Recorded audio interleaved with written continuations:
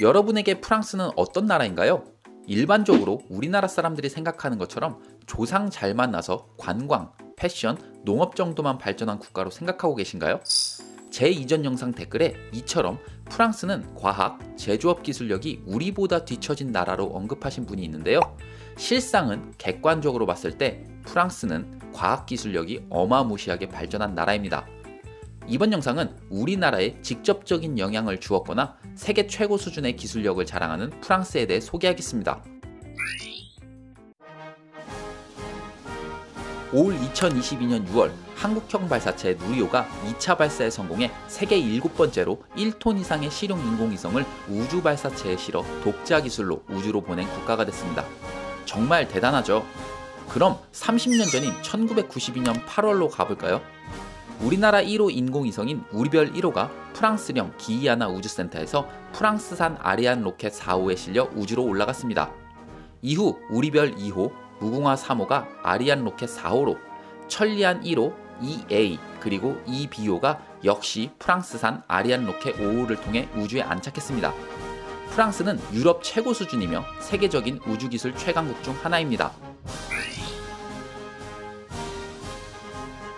2004년 우리나라는 KTX를 개통하며 세계 다섯 번째로 고속철 보유국이 됐습니다. 세계 최고 수준의 고속철 기술을 가진 우리나라는 1993년 프랑스 알스톰사의 떼제베를 우리나라 고속철 사업의 우선 협상자로 선정하며 KTX의 역사가 시작됐습니다. 처음 개통된 KTX는 떼제베 원형 그대로 들여와 한 편성에 20량을 그대로 달고 운행하지만 이후 일부 인도받은 떼제베 노하우와 우리의 기술이 합쳐져 만든 KTX 산천의 경우 한 편성을 열량으로도 줄일 수 있어 지역, 시간에 따른 탄력 운행이 가능해졌습니다. 우리가 주로 해외에 갈 때 이용하는 비행기. 이 항공기 시장은 미국의 보잉과 유럽의 에어버스가 양분하고 있습니다. 에어버스는 프랑스, 독일, 스페인 등 유럽 국가들이 함께 만든 기업이지만 실질적으로 프랑스를 주축으로 만들어진 업체로 본사 또한 프랑스 툴루즈에 위치하고 있습니다. 그런데 재밌는 점은 후발주자였던 에어버스는 우리나라 대한항공이 없었다면 이만큼 성장할 수 있었을까라는 의문이 생기기도 하는데요. 때는 바야흐로 1974년 주로 프랑스, 영국, 독일 등 몇몇 유럽 국가만 사용하던 에어버스 기종은 당시 대한항공이 A300을 구입해주며 우리나라는 유럽 이외 최초로 에어버스를 구입한 나라가 됐습니다. 이 사건은 유럽을 넘어 글로벌 항공기 제작사로 발전하는 계기가 됐죠. 그런 고마움에 대한항공 조주군 회장은 프랑스 국가원장인 레지옹 도네르를 받기도 했습니다. 1889년 프랑스 혁명 100주년을 기념해 거행된 파리 만국 박람회에 맞춰 등장한 에펠탑. 프랑스의 상징이 된 이 건축물은 당시 건축 기술력의 총화라고 볼 수 있죠.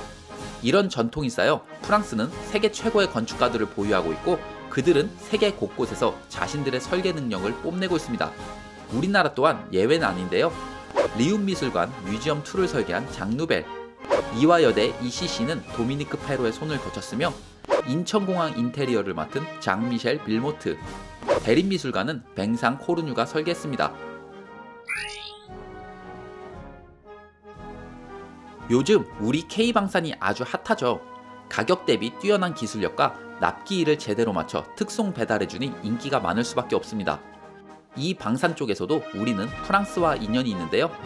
적어도 방공 미사일인 천마의 경우 프랑스 톰슨 CF사의 크로탈 미사일 기술 이전을 바탕으로 만들어졌습니다.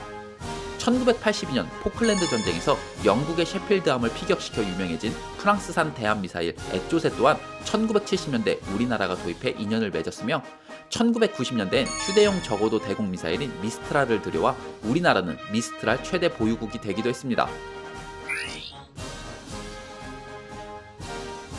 2020년 6월 세계 최고의 LNG선 건조 기술을 가진 우리나라가 카타르와 LNG선 배척 수주에 성공했다는 소식과 함께 이와 같은 뉴스 기사가 떴습니다. 우리가 LNG선을 팔았지만 프랑스가 뒤에서 웃고 있다는 기사인데 내용은 다음과 같습니다. LNG선 핵심 기술 중 하나인 화물창은 폭발 위험성이 높은 LNG를 안전하게 보관하는 역할을 하는데요. 이 화물창 설계 기술은 프랑스 GTT사가 거의 독점을 하고 있기에 선박의 5%를 프랑스의 로열티로 주고 있는 상황입니다. 이렇기에 2005년부터 2020년까지 프랑스 GTT에 로열티로만 4조 원 넘게 줬다고 합니다. 지난 카타르와의 백척 계약으로 GTT는 단번에 1조 원이라는 돈을 우리나라로부터 받아가게 됐습니다. 지금까지 우리나라와 직접적으로 연결된 프랑스의 최첨단 기술력을 봤는데요. 이 바게트 국은 여타의 첨단 기술 및 제조업 분야에서도 세계 최고의 능력을 지녔습니다. 대표적으로 미셸린 타이어가 있습니다. 우리나라 한국 타이어는 세계 7위 규모로 세계 최고의 타이어 기업 중 하나인데 프랑스의 미셸린 타이어는 이 업계 세계 1위 자리를 지키고 있는 기업입니다. 무조건적인 국뽕이 아닌 제대로 알고 세상을 바라봐야 우리나라가 더욱 발전하지 않을까 생각됩니다.